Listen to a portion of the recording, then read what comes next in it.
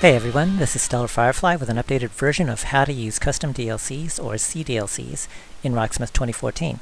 This tutorial is specifically for the PC version of RS 2014, so those of you with a Mac, PS3, or Xbox version, I don't have RS 2014 for those platforms, so unfortunately I can't help you out there. But I'll have a link in the description for you to find instructions for your platform. And just as a quick note for PS3 and Xbox owners, because a lot of people have asked me about this, I've heard that your console needs to be modded for you to be able to use CDLCs. But more than that, I couldn't tell you myself, so check out that link. So first of all, where can you get custom DLCs? Customs Forge is the new go-to place for all your CDLC needs. You don't have to sign up for the Customs Forge forums to download and use CDLCs. However, I do recommend that you register for the forums. It doesn't cost anything, it's an open community for CDLC enthusiasts, and probably most importantly, it's a place where you can go if you have any questions or if you need to get some help if you encounter any CDLC related problems. For Rocksmith 2014 to be able to recognize custom DLC, you'll need the infamous dx3dx9 underscore 42.dll file. You'll, need, you'll find a link to it in the description. Simply download this file and then place it into your Rocksmith 2014 folder. See later in this video for how to find this folder, if you don't already know. This method works for about 90% of the people who try it, but for some unknown reason, some people can't get it to work. If it doesn't work for you, then instead, download the Rocksmith 2014 underscore patcher.exe file. Again, there's a link in the description. Place it into your Rocksmith 2014 folder and use it to launch Rocksmith 2014. If the DLL didn't work for you, then this exe file should work.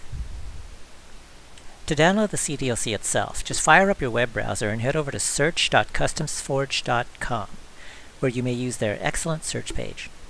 For this demo, we'll search for Canon Rock because, uh, yeah, I had some um, copyright issues from just playing a little small clip from my last tutorial video. So anyways, once you find the song that you want, just click on the download icon to go to that song's record page. There you can find out all sorts of info on that CDLC, including two things that are very important for this tutorial. First, the package ID, which we'll get to later, but for now you can just note that it's set to Smashing Pumpkins Cherub Rock 248750. And also, second, its download link. For now, just click on the download link, and then depending upon how the file is provided, just follow the instructions that you see to download it. That should give you a file with a .psarc or .psarc extension. And that is your custom DLC song. Now sometimes, as you can see for this song, you may see different files available for download. If so, then the one that ends with an underscore p.psarc is the PC version. The one that ends with an underscore m.psarc is the Macintosh version. The one that ends with a underscore ps3.psarc.edat is the PS3 version, and the one that ends with an underscore Xbox is obviously the Xbox version. So make sure you download the correct version for your platform. After you've downloaded the file, you'll need to move it into your DLC folder beneath the Rocksmith 2014 folder. If you bought RS 2014 through Steam like I did, then you could find it underneath Program Files x86, Steam, Steam Apps, Common, Rocksmith 2014, then DLC. If you bought RS 2014 separately, then you can find it wherever you told it to install. Most likely just underneath Program Files x86, Rocksmith 2014, DLC. So just move the, CL, the CDLC that you downloaded into that directory.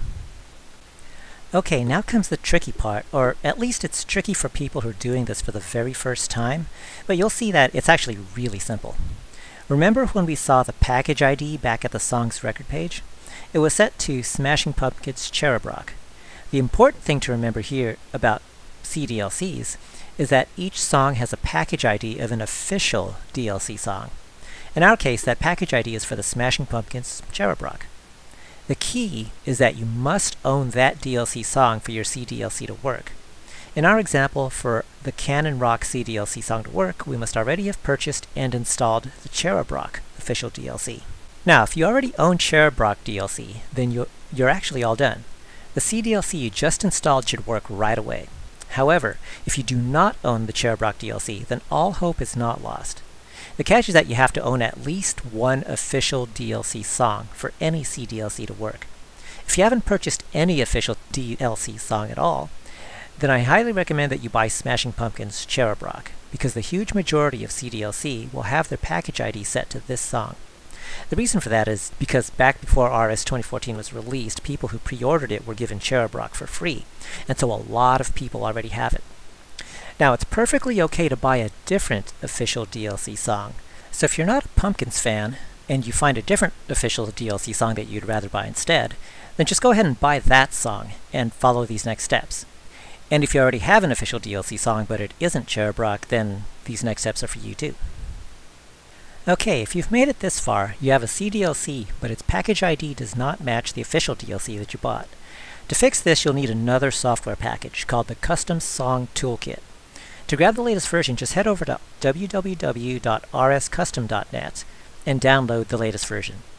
As of this video recording, the latest release is version 2.5.0.0, so we'll grab that. Extract it to any folder and launch the Rocksmith Toolkit GUI.exe file. Then go to the Packer slash Unpacker tab and look at the App ID Updater control group. First, select RS 2014 from the first dropdown. Then find the official DLC that you own in the second dropdown.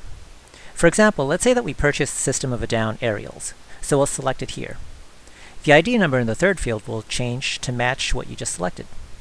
Finally, click the Choose DLC button and navigate to and select the custom DLC whose ID you want to change, and press Open.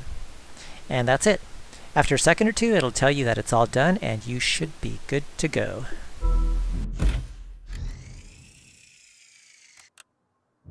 Learn a song.